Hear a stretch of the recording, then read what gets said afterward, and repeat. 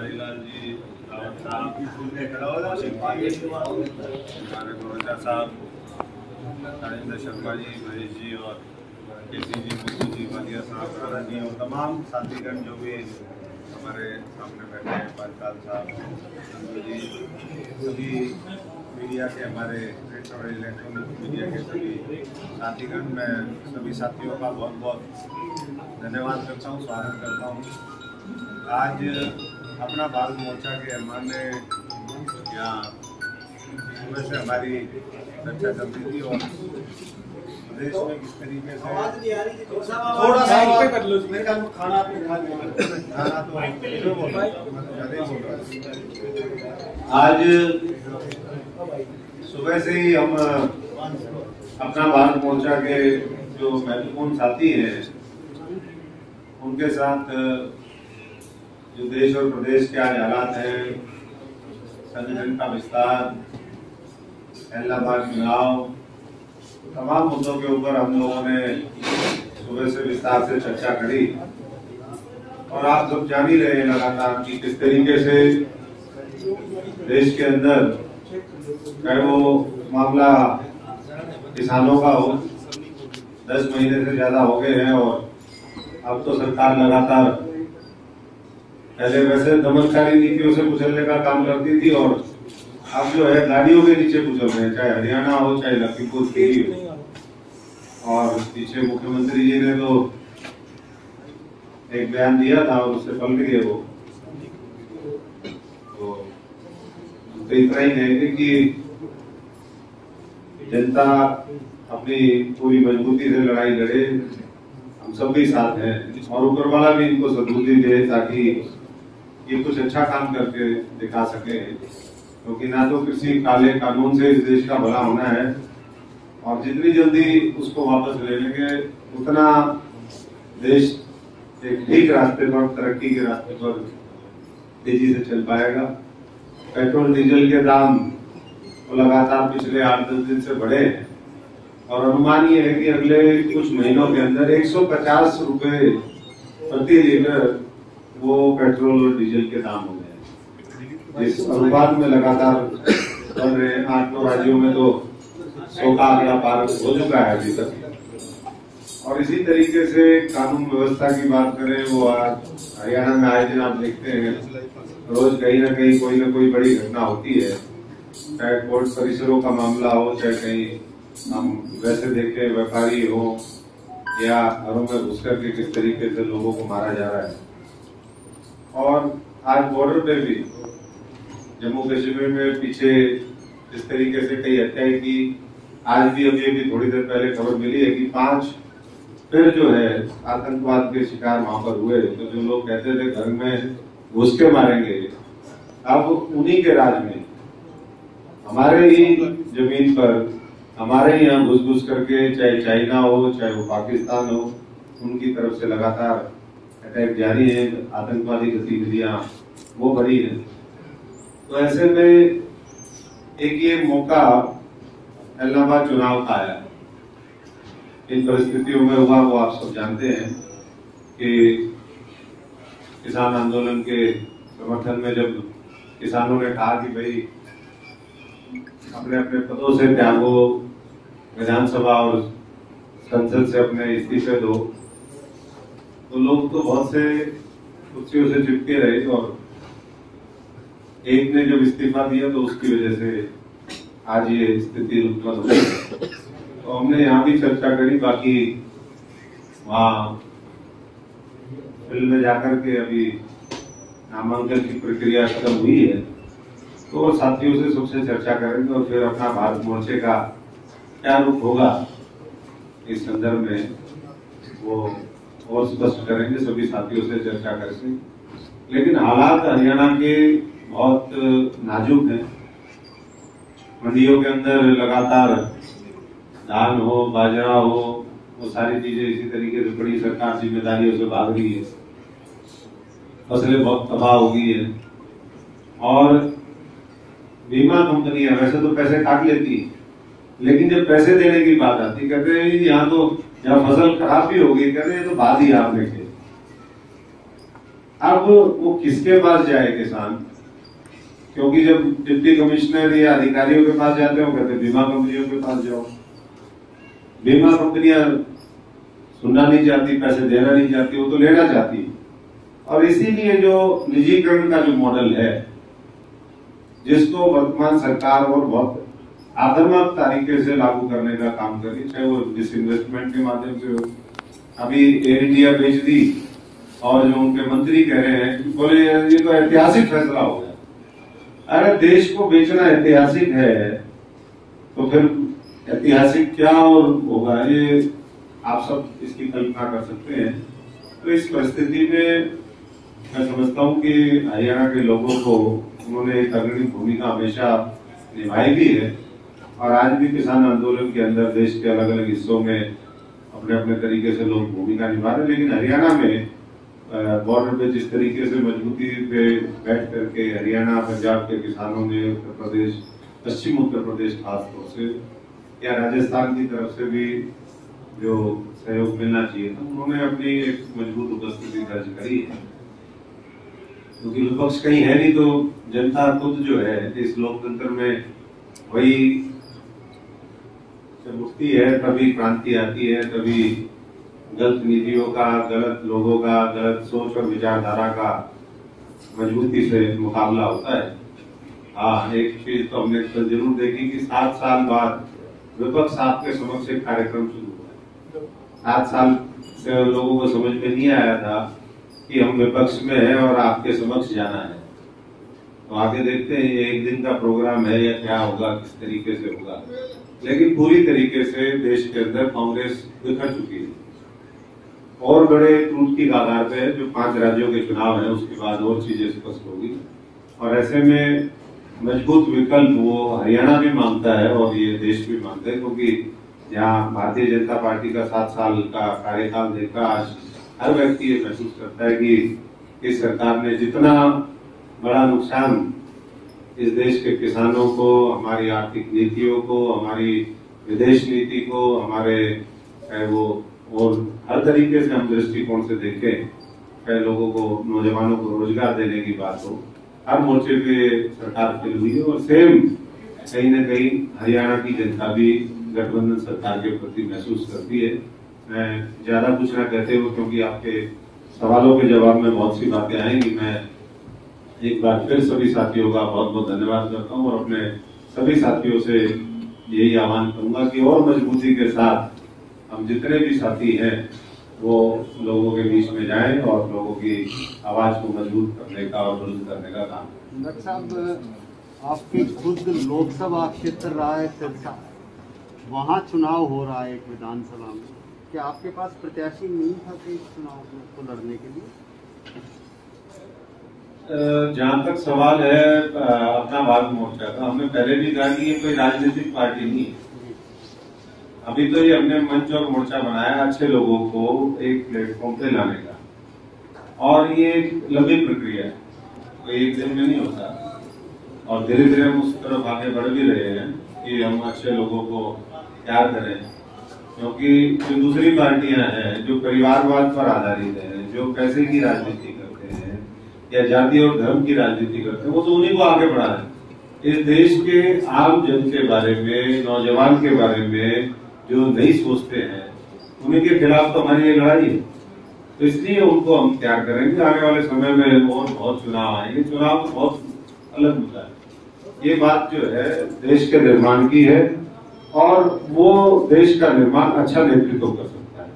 तो इसलिए जहाँ तक इलाहाबाद का मामला है क्योंकि मैंने पहले ही कहा कि कोई पार्टी तो हमारी थी, लेकिन फिर भी क्योंकि हमारा संसदीय क्षेत्र, इसीलिए तो मैंने कहा कि सबसे इन साथियों से भी सलाह लें, जो हमारा पुराना, मैंने तीन लोकसभा वहाँ पर चुनाव लड़े पहले बाई इलेक्शन भी हमने देखा।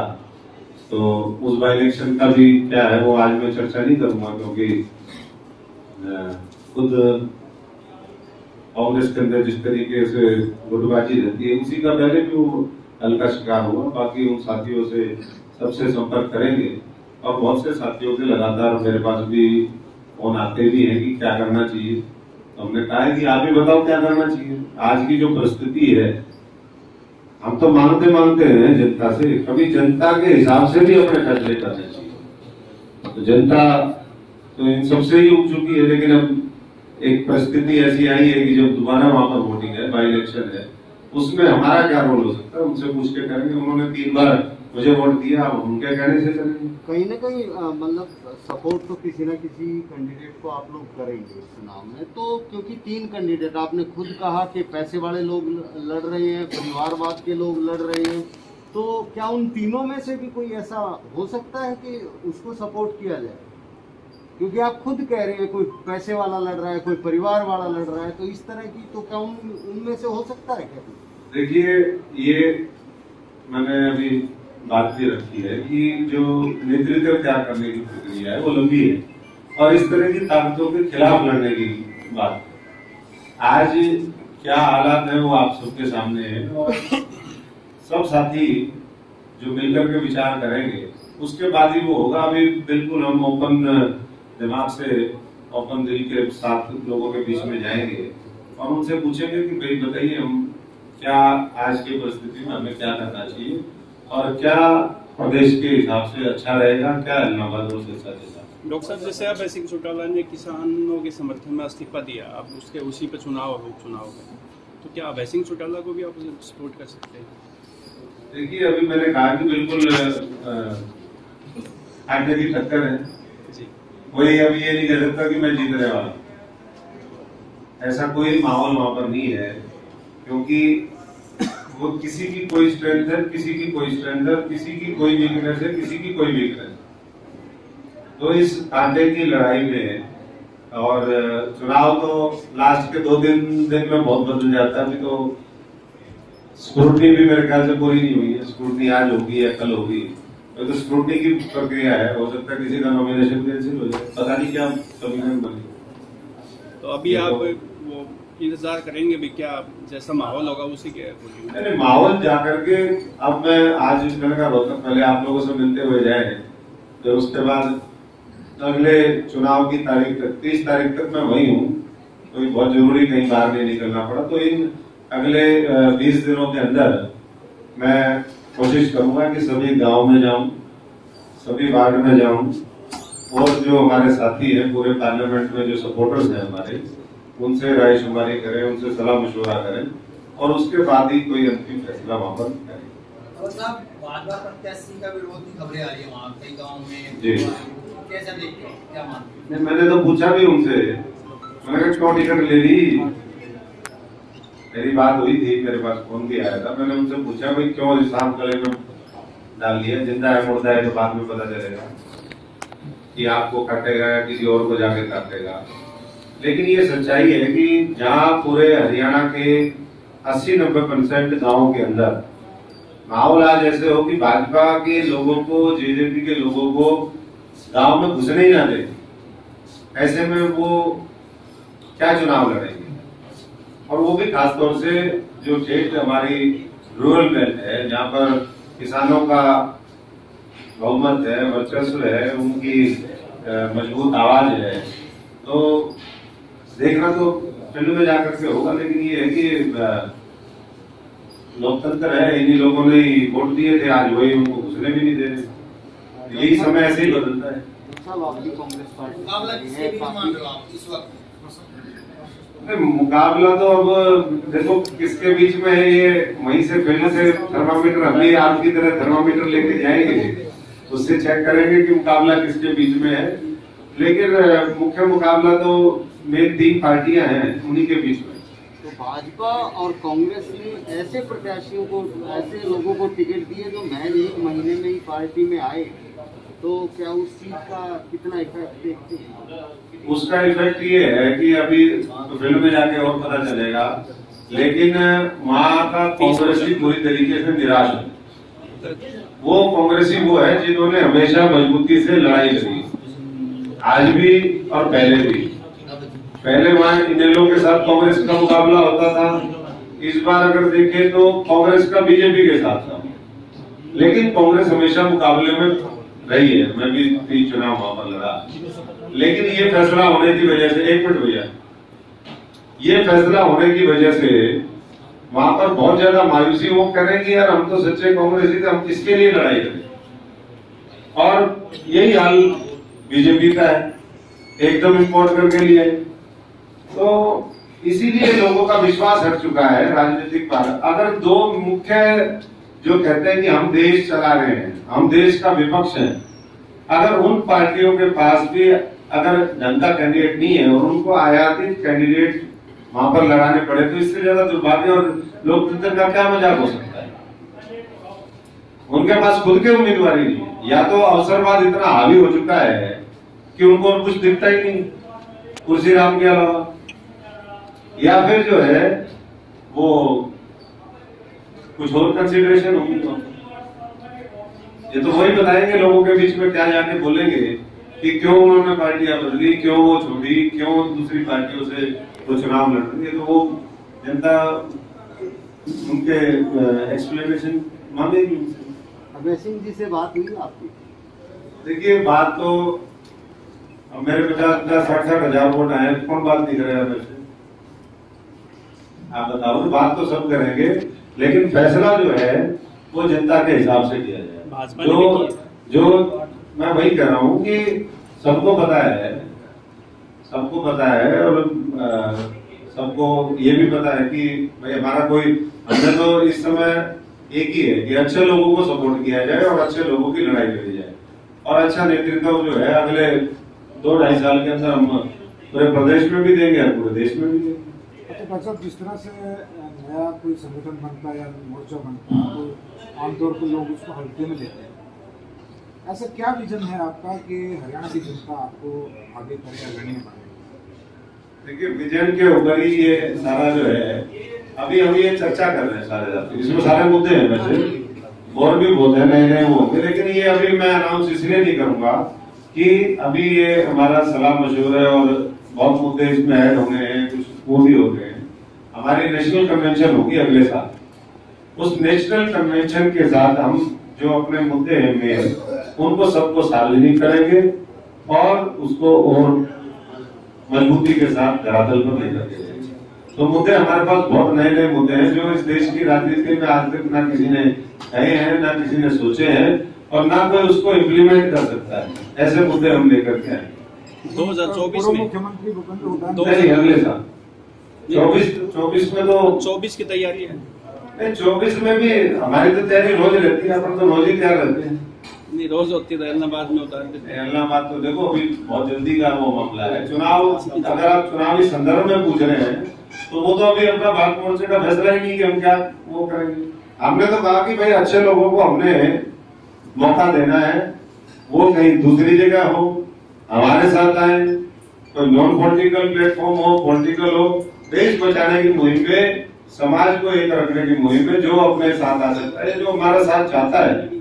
हम एक दूसरे के साथ करें वैसे डॉक्टर साहब जो वहाँ पे प्रत्याशी इलाहाबाद में चुनाव लड़ रहे हैं बीजेपी से जो चुनाव लड़ रहे हैं कांग्रेस से या अभय सिंह चौटाला इन तीनों में से भी तो कोई अच्छा लगता होगा आपको? देखिए मेरे अच्छे लगने का सवाल नहीं है। उस हल्के के लोग क्या चाहते हैं?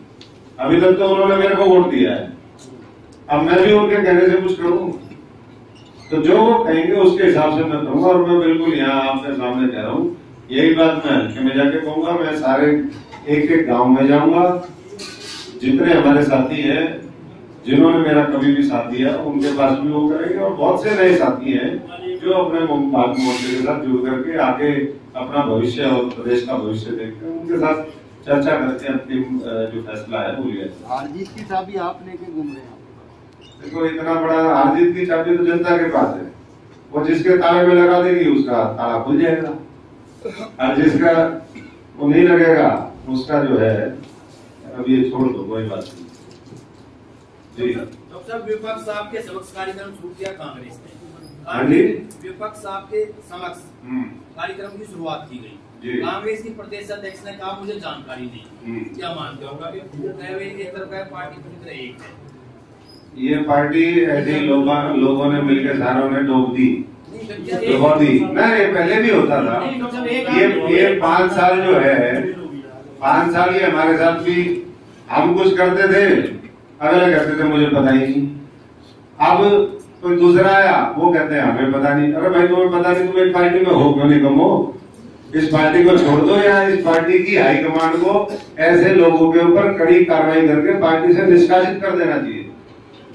इनको निष्कासित कार्यक्रम करने वालों को जानकारी ना मैं कह रहा हूँ जो पार्टी को कमज़ोर कर रहे हैं जब तक ये नहीं होगा ये कांग्रेस और नीचे जाएगी। और इसीलिए जो है इसका ये हाल हो गया। सारा सब जगह तो सरकार चली गई और बची क्या है? पंजाब जाते जाते बचा। वो वहाँ का प्रदेश अध्यक्ष सिद्धू पहले उन्होंने ब्लैकमेल करके ली। उससे पहले जो दूसरे थे उन्होंने ब्लैकमेल करके ली।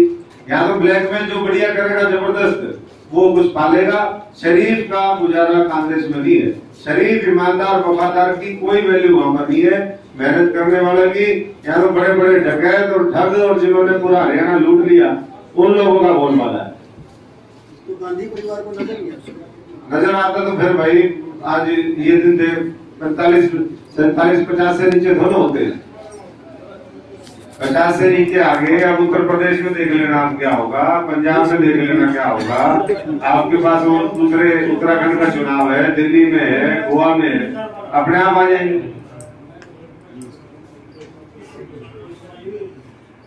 बहुत बहुत धन्यवाद जी, सभी साथियों। सभी साथी कृपया बैठे और चाय लेकर